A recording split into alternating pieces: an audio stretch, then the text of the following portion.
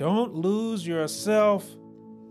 Don't lose, I would say to you today, don't lose your soul. Now we'll see there in my key verse there that the proverb it tells us once again that righteousness that righteousness guards those whose way is blameless.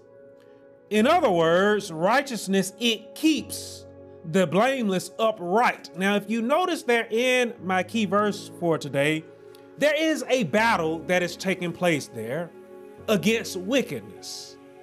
And in order for us to remain upright against wickedness, again, righteousness is what we need to be able to remain upright against wickedness. Whereas we'll see there, the sinner in this battle has no protection. The sinner, we're told there in that proverb, has no protection against wickedness, and therefore wickedness, it overtakes them. The sinner, we know, will be found guilty of their wickedness, to which again we know that their end is eternal condemnation. That is their reward. So our goal today should be to remain blameless, right? Our goal today should be to remain upright while we are on this journey because we do not want to be rewarded with eternal condemnation, do we? Now, Paul, he wrote that the blameless, he wrote that they are those who obey God without complaining and without dispute. If you desire to remain upright, if you desire to be blameless in the eyes of God, again, you must be one who lives in obedience to God without complaining and without dispute. In other words, the blameless, you, you should strive to live by faith sincerely, genuinely.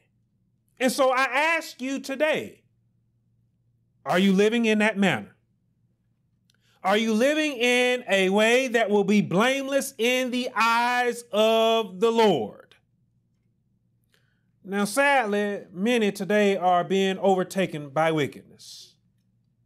Many are being overtaken by wickedness today. Many are falling to wickedness. Many are falling to sin today. As I said in my last sermon, in the first sermon of this series, we are an adulterous generation.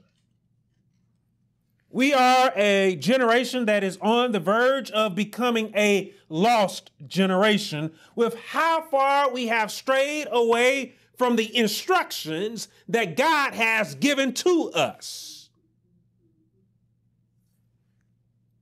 So, what must we do to correct our way? What must we do in order to remain upright? What must we do to be blameless in the eyes of God? What must we do not to be overtaken by wickedness while we are on this journey? As we saw in my first sermon of this series, we must first recognize the sign that has been given to us by God. We must recognize that sign and we must follow that sign.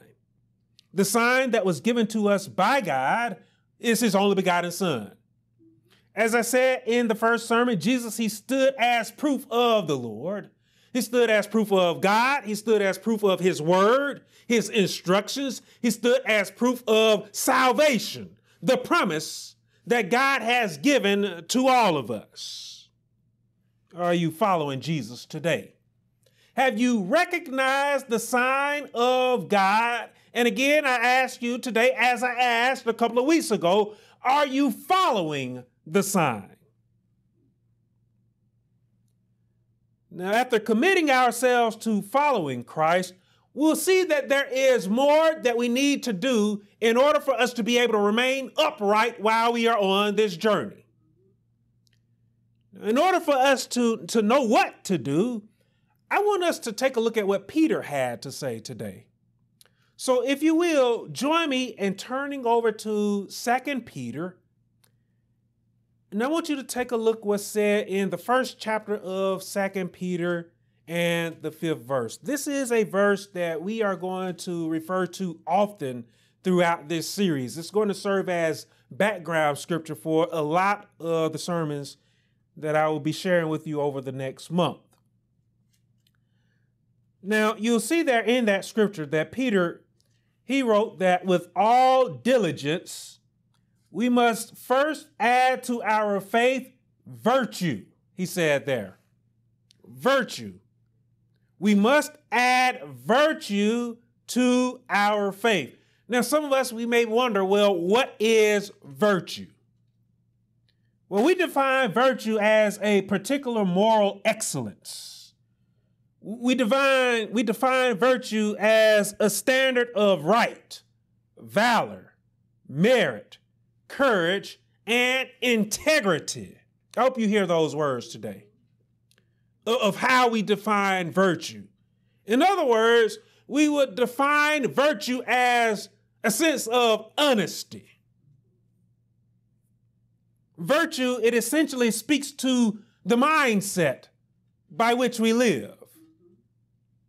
What we are mindful of, what it is that, that guides the actions that we take on this journey. The moral and the ethical standards by which we live. What does your moral and ethical standards? What does your values, what does it say about you? See, the believer, the believer should have high moral and ethical standards. We should have, we should be living by a high virtue. And, the reason why I say that today is because our virtues, they are not set by, by us. We don't set our own virtues as followers of Christ. Our virtues, they have been set by God Himself.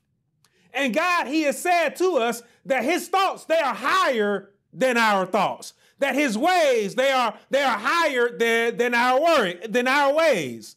So if we are following Christ today, we should be following a way that is higher than the coming man. We should be living by a, a way that is higher than that that is of the world. Paul, he summed up the virtues of the believers best when he said to the Corinthians, when he spoke to them about faith, hope, and love, that is charity. The virtues of the believer is faith, hope, and love. Faith, hope, and love is what we need in order to remain upright on this journey. Faith, hope, and love is what we need in order to not be overthrown, in order not to be overtaken by wickedness while we are on this journey. And so, the question that all of us must answer today is whether or not faith, hope, and love, whether or not those three things have rule over us. Does faith have rule over you? Does hope have rule over you? Does love have rule over you? Are you living by faith? Are you living by hope? Are you living by love today? Are you living according to these Christ like values? That is what we must answer today. I share with all of you again today that I have great concern about this generation. I am greatly concerned about this generation. And when I say this generation, I'm talking about the whole world, all of those who are present and living in the world today.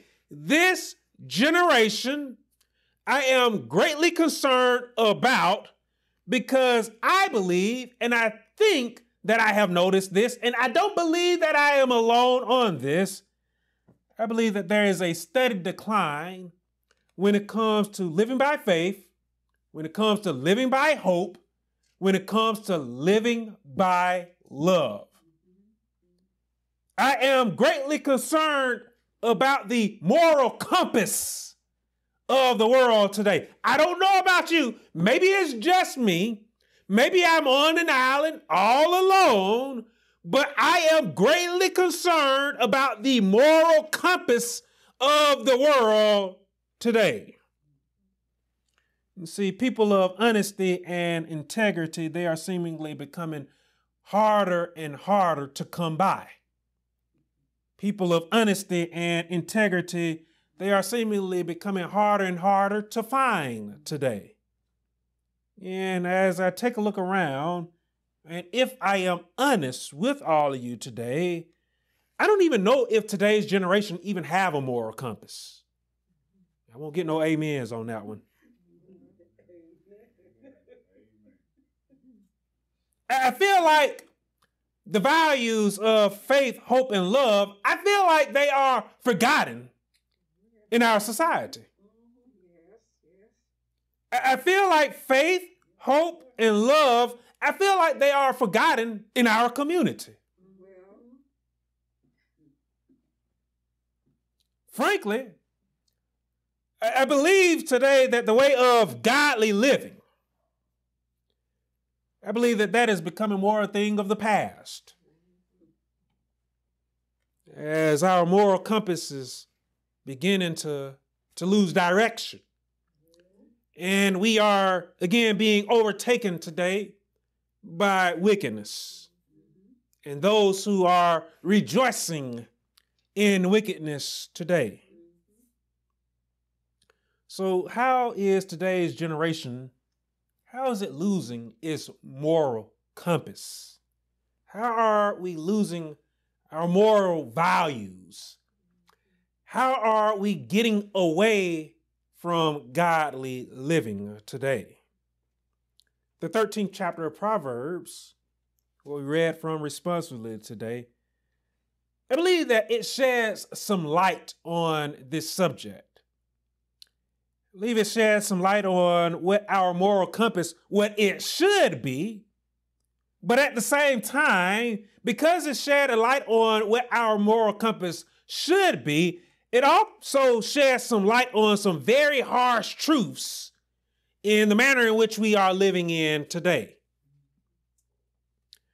For example, there in the second verse there, the proverb states that a man shall eat well by the fruit of his mouth, but the soul of the unfaithful, I like underline this, the soul of the unfaithful, the proverb says, feeds on violence. Are we feeding on violence today? Think about that for a moment here. Now, the notion of this proverb, it speaks about the virtue of love faith, hope, and love, right? You see, with a, a cross reference over to the 10th chapter and the 11th verse, we are told that the mouth of the righteous is a well of life. The, the, the again, the 10th chapter of Proverbs and 11th verse said that the mouth of the righteous is a well of life.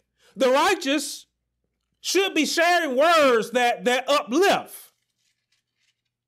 We should be moving in a place of love, from a place of love that again, that uplifts. Are we doing that today?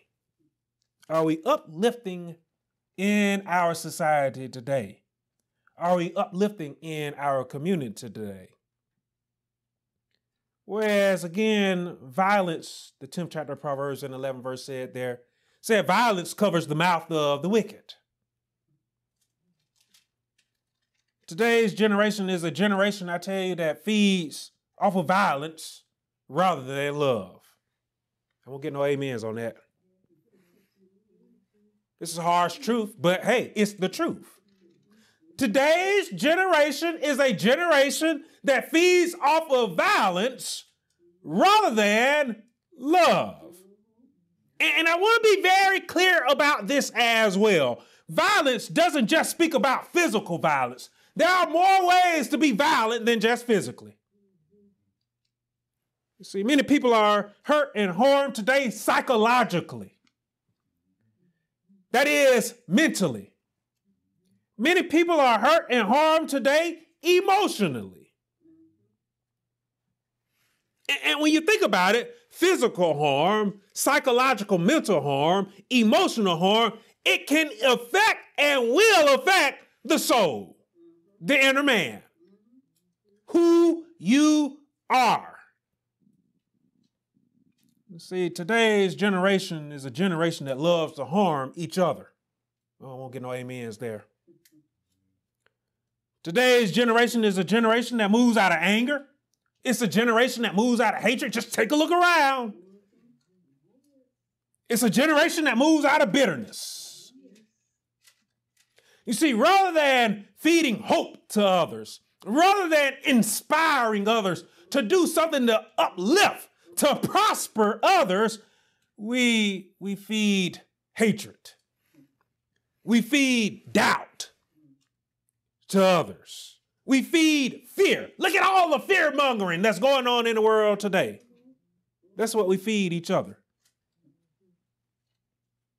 Many people today suffer from physical, psychological, and emotional abuse today from those who love to feed off of violence. Many people are suffering today physically, mentally, and emotionally today from all of those who love to incite that type of abuse. From those who I would say have lost their way. And what's truly sad about this is that the abused, they are crying out today. But as the abused, as they cry out, many of us, we just shrug our shoulders, don't we? We, we shrug our shoulders at their suffering and we turn away from them, ignoring their cries of suffering. What does that say about us? When we should be living with a virtue of faith, hope, and love, what does it say about us when we don't care about the abuse, when we don't care about the suffering that others are going through? We won't care unless it comes our way and it harms us. Many of us, we have become numb to the suffering of others. We turn on the news, we see somebody got killed, and we just shrug our shoulders and we say, oh, well, that's, you know, hey, that happens all the time. Ain't that what we say? I, remember when I was in the eighth grade, uh, maybe I was in the ninth grade, when the, the, the first mass shooting at a school that I can recall happened. And it was a big deal. But now it's just another thing. That's how numb we have grown as a people to, to the hurt and to the suffering of others. Again, we are feeding off violence today rather than feeding off love. We wonder how we have lost our moral compass. And how are we losing our moral compass today? The third verse there states that one who is careful about their words, they preserve their life. Everybody see that there? And I want you to think on that. I want you to stew on that for a moment. And the proverb said there, that one who is careful about their words, they preserve their life. I want you to understand that the notion that is being spoken of there in this proverb is about integrity, honesty, right? And, and, and, I would, again, I would say to all of you today, I don't know if I'll get an amen on this. I don't know if you will agree with me on this, but I definitely believe that integrity is lost on this generation. I believe that integrity, I believe that honesty, I believe that it is lost on this generation. All I have to do is open up YouTube. All I have to do is turn on the news. And all I can see when I do that is a whole bunch of lies. I won't get no amens on that. The rest of that verse there it speaks to the, the wide opening of the lips there. This generation, as it opens wide its lips with lies, tales, stories, gossip, conspiracies, it's opening up its lips wide to destruction. See, our moral compass was lost the day we fell in love with lies. Our moral compass, it was lost today when we fell in love with a whole bunch of gossip, a whole bunch of mess, listening to a whole bunch of mess, hungering for it, thirsting for it. Our moral compass, it was lost today that we fell in love with conspiracy theories rather than the truth. Oh boy.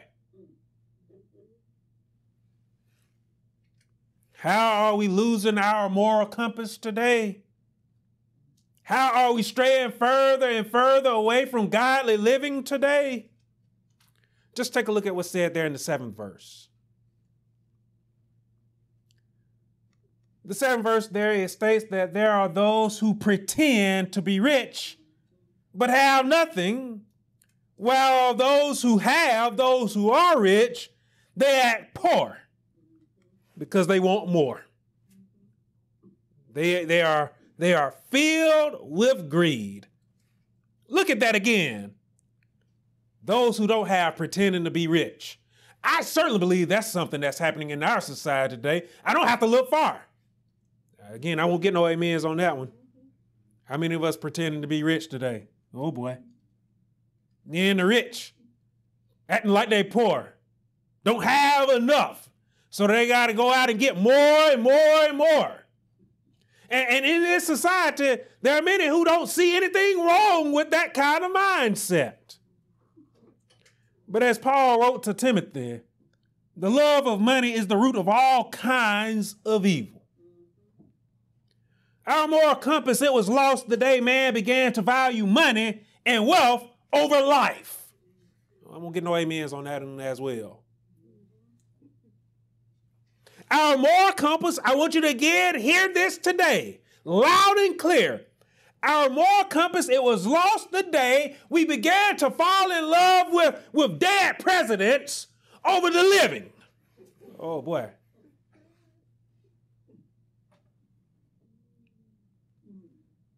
Jesus, he warned against covetousness.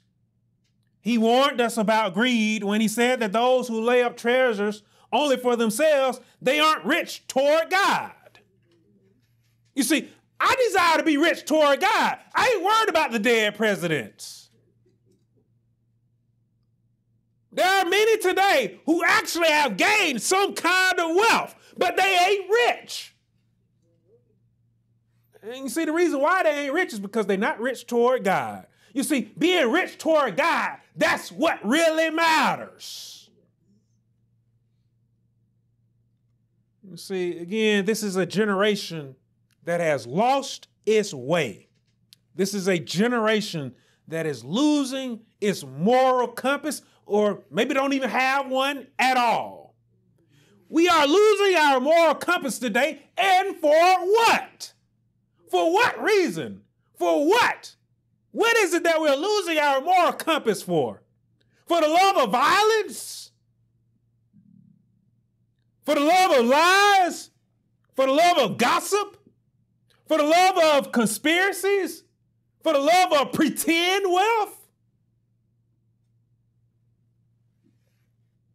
See, that's all that has been gained in this world today. Pretend. Pretend love, pretend truth, pretend wealth. Oh boy, not gonna get no amens. That's fine.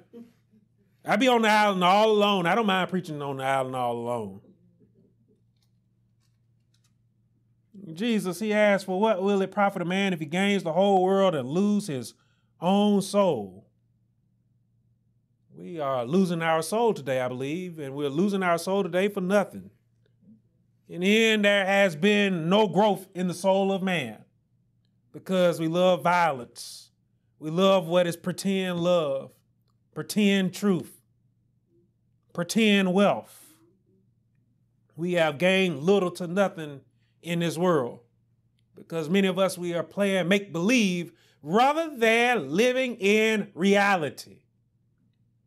The reality in which we need to get our souls right so that we can remain upright on this journey and not be overtaken by wickedness. Because again, we know that if we are overtaken by wickedness, if we are overtaken by sin, we know the end result.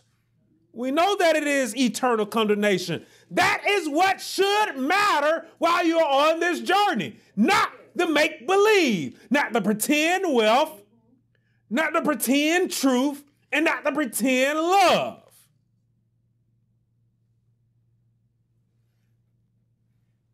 See, rather than a moral compass, we have a world today that is filled with prideful and egotistical maniacs. And I'm going to keep it real just like that. There in the 10th verse, the scripture states that by pride comes nothing but strife. I look around in the world today, and again, that's what we see in the world today a whole bunch of strife, a whole bunch of mess the 11th verse states there that wealth gained by dishonesty is wealth that will be diminished. It will go away. It will not last. Like I said, it's pretend wealth. Mm-hmm. I want true wealth today.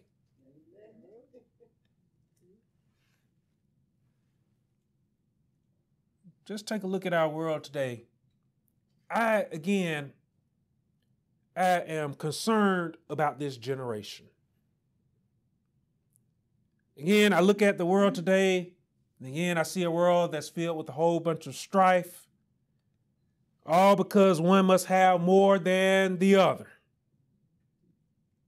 You have to have more than me, and I have to have more than you.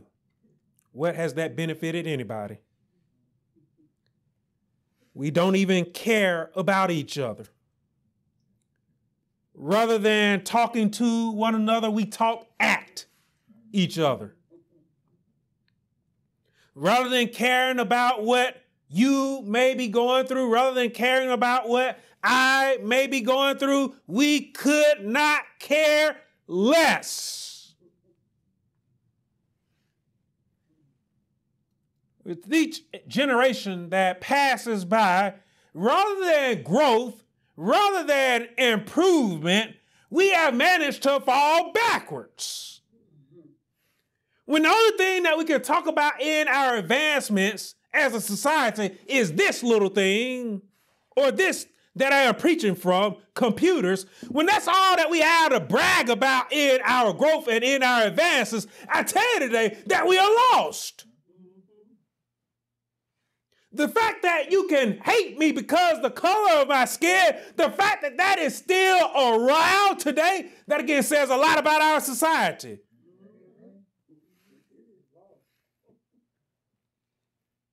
The fact that you can't love me because I drive a Honda Civic while you driving the next fancy car, that again, that says a lot about our society.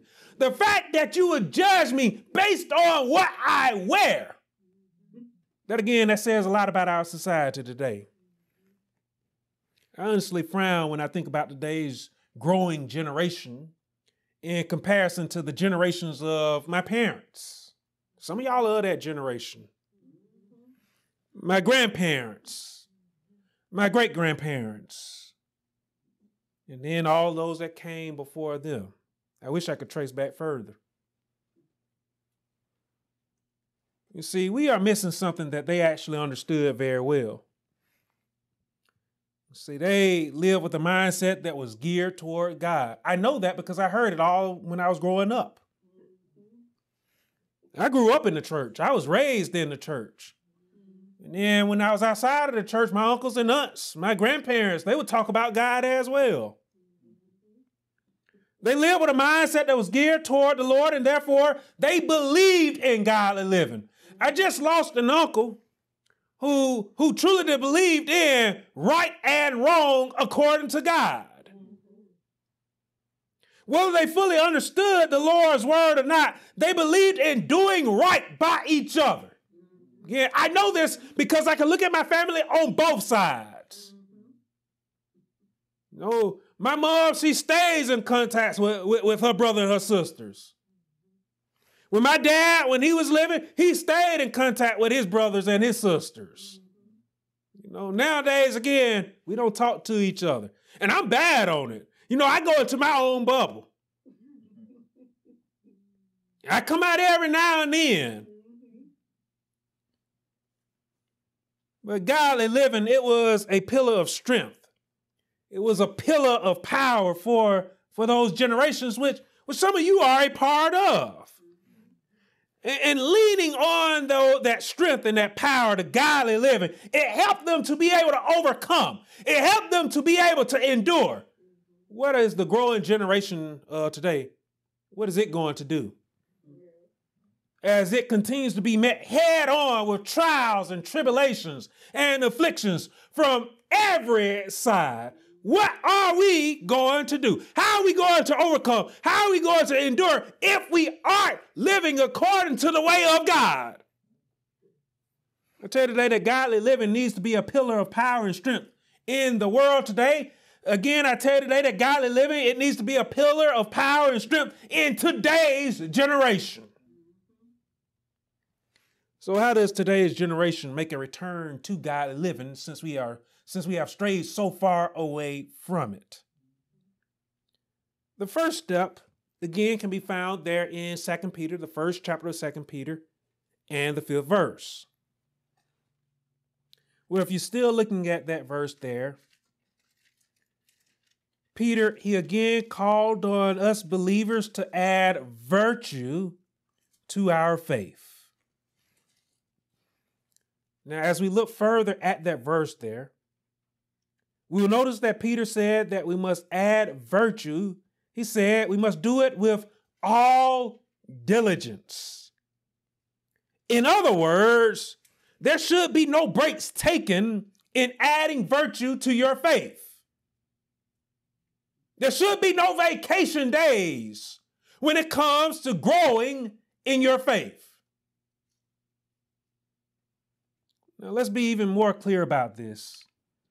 The life of every believer is one to be lived with a serious mindset for faith. For faith and for growing in faith. Again, listen closely to that. As a believer, you should be living with a serious mindset towards your faith. Sadly, many believers today they view faith as an activity to participate in only one day a week, only on Sundays. I got to get up and go to church today. It's Sunday. I got to be a believer today. Is what many people move like. Many so-called believers, professed believers. If you view faith as a once a week activity, then again, I tell you today that you're practicing religion and not faith. Your faith ain't sincere. It's not genuine. In fact, your faith, it ain't real. To remain upright with godly living, again today, we must be serious in every aspect of our faith. We should be serious in our prayer life. We should be serious in our studying of the word. We should be serious when it comes to doing right by each other. Again, we must have the utmost seriousness in every aspect our faith. How many of us are serious about our faith today? see, one who is serious about their faith is one that will be ready to endure their inflictions. One who is serious about their faith today, they will be ready to endure their trials and their tribulations. They will be able to endure, and not only will they endure, they will overcome the enemy. How many of us are going to be serious about our faith today? If again you desire to remain upright on this journey and not to be overcome by wickedness, you must take your faith serious today. If you're gonna take your fear, your safe, your faith serious today, say, Pastor, I'm gonna take my faith serious today.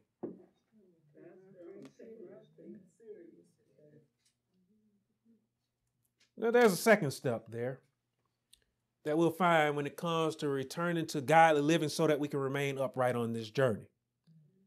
And we find it there in the first verse of the 13th chapter of Proverbs.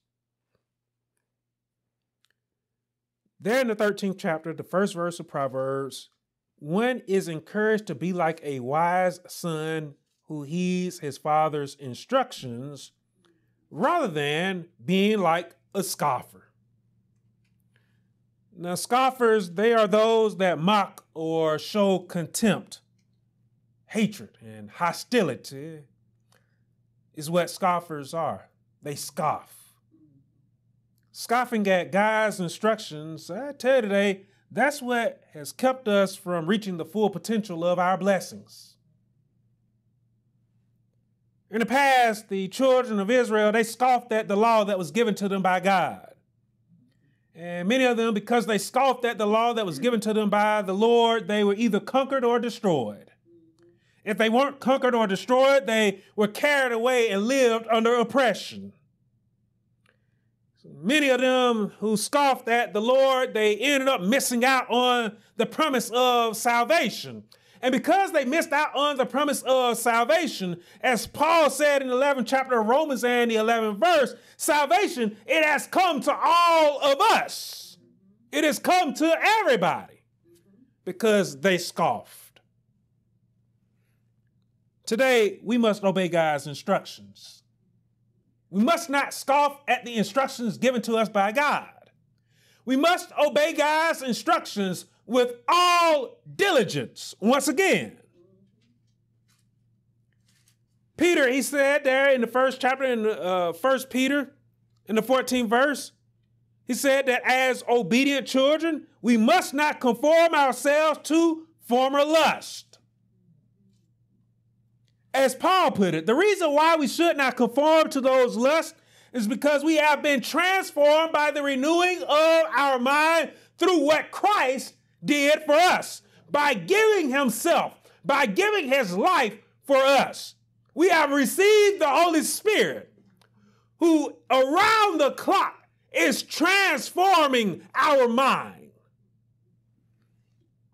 So when we remain obedient to God's instructions of godly living, we are able to prove what is the perfect will of the Lord. We aren't living according to the world, we are living according to his word.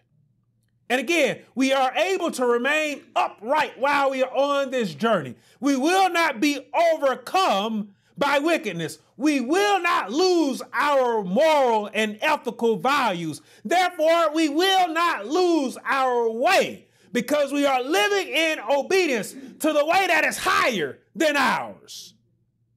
And then we are living again according to the mindset that is higher than ours. We are living according to the way of the Lord. Scripture, it repeatedly encourages us believers to abhor, to despise, and to hate all that is wicked. And we should be doing it with malice. How many of us are doing that today? Again, there in my key verse for today, we are told there that again, the righteous should hate lying. How many of us hate lying today?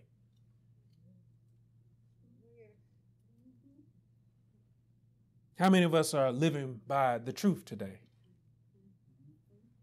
If you are living by the truth today, say, Pastor, I'm living by the truth. I got some mumbles there. I don't know if y'all living by the truth. If you're living by the truth today, I want to hear you. Say, Pastor, I'm living by the truth.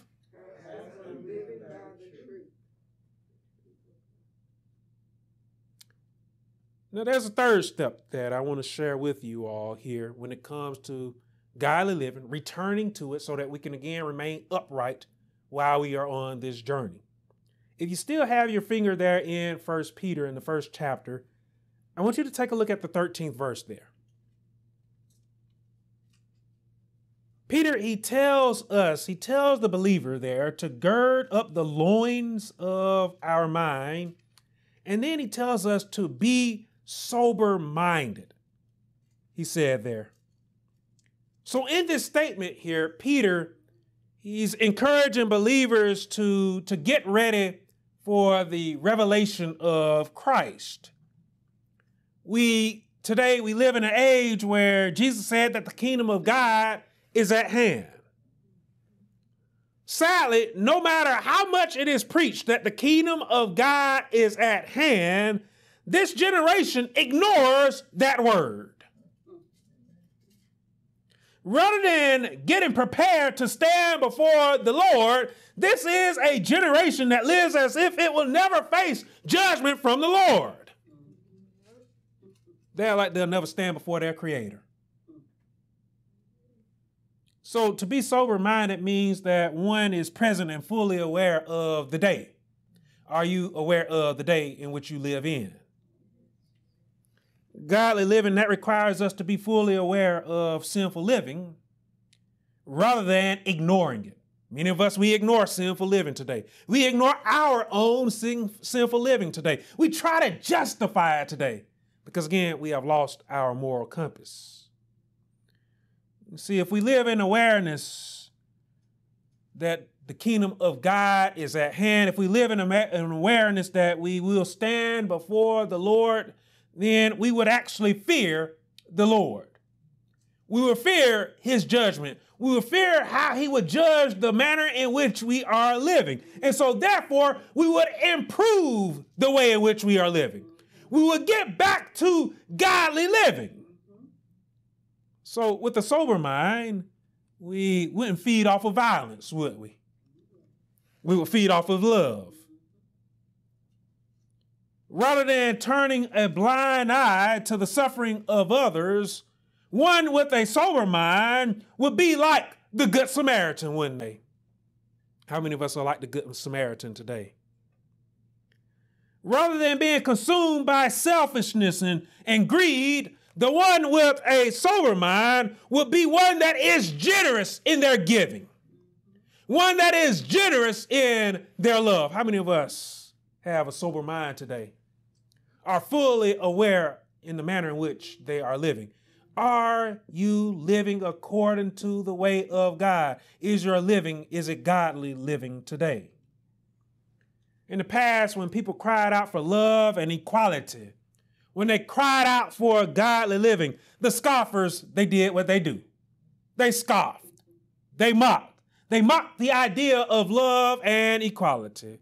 They mock the idea, they scoff at the idea of loving people who are different from them, who have a different color skin, who may not talk like they do, who may not dress like they do. And guess what it did? It set generations back. Still to this day, the scoffer scoffs at the idea of godly living, of love, honor, respect, equality, as we saw in the Sunday school lesson today. There are scoffers today who look at women as objects, who look at women as being weak. And again, they continue to set generations back. The Lord, again, shows us that there is strength and power in godly living. There is strength in unity. There is strength in harmony. So why are we as a community, why are we becoming the scoffers?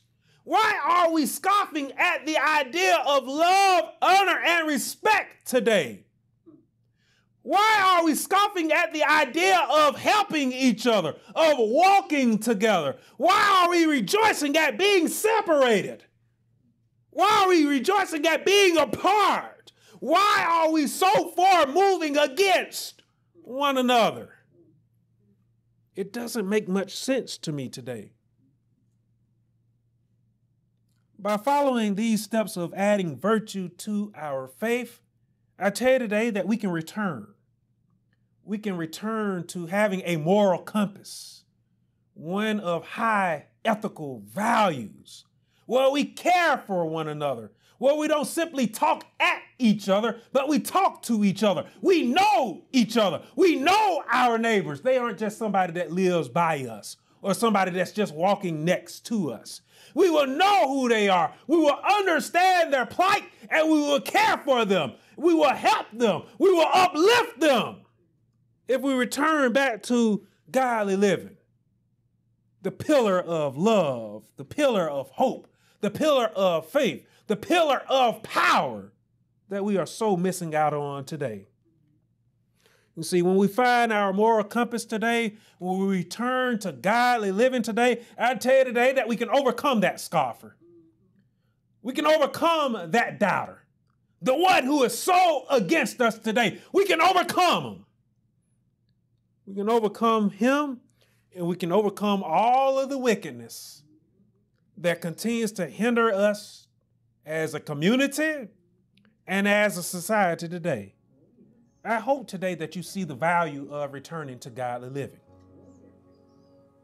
And I hope that a generation that is starting to lose its soul, that's becoming a lost generation, I hope that it can see the value of faith, love, and hope, the virtues of again being ready, having a sober mind, living in obedience to the word of God, walking faithfully. I hope that we can find that today. As Peter said there in the 15th verse of the first chapter of 1 Peter, our goal is to be holy just as he who called us is holy. That is our goal today. To again be fruitful. That is our goal today. Is it too much for us today? Is it too much to ask for us to commit ourselves to godly living? Is that too much? Is it too hard for you? I hope not. To today's generation, I call on us to return to those values that we have forgotten. I call on us to commit our way to the Lord. I call on us to commit our way to godly living. Will you do that today? Amen. Amen. Amen. Thanks for watching this week's sermon. I hope that you enjoyed this week's message and I hope that you'll share it with someone somewhere. If you haven't done so already, make sure that you like this video, follow the channel as well as hit the alert bell so that you don't miss any notifications, so that you don't miss any of the wonderful videos that we share here on the Newfound Faith YouTube channel.